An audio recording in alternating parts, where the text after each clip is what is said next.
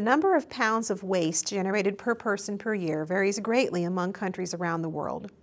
Use the following pictograph to answer this exercise.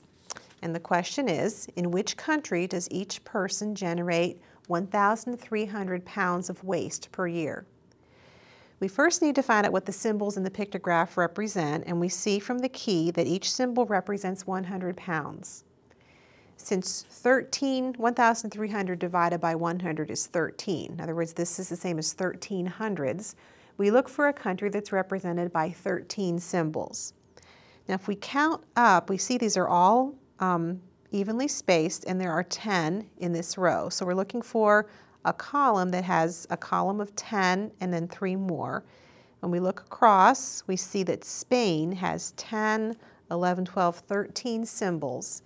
So that would mean that in Spain, each person generates 1,300 pounds of waste per year. And the answer would be Spain.